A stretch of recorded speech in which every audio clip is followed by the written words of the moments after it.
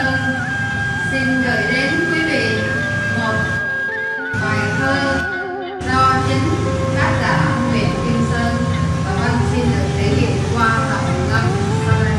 Xin tất cả các bạn cùng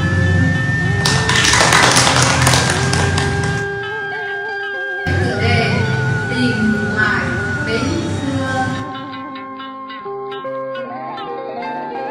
Mùa lễ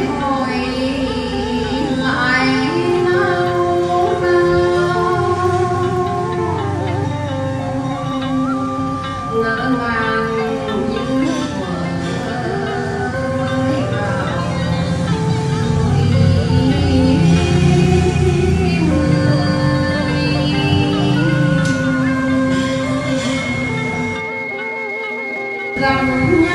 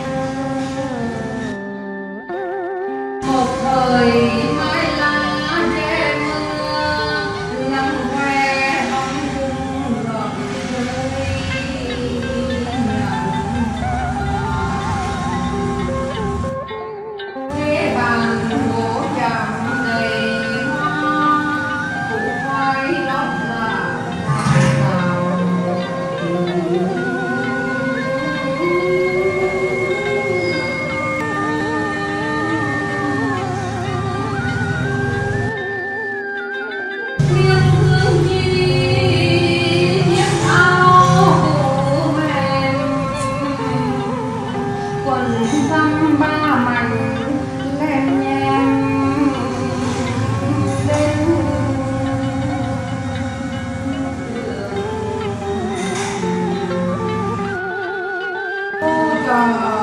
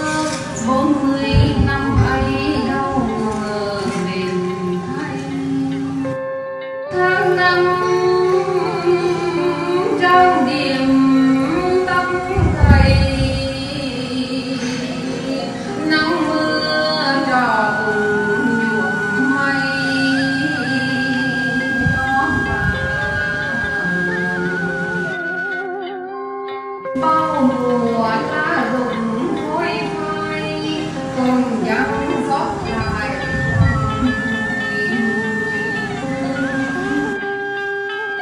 giờ đây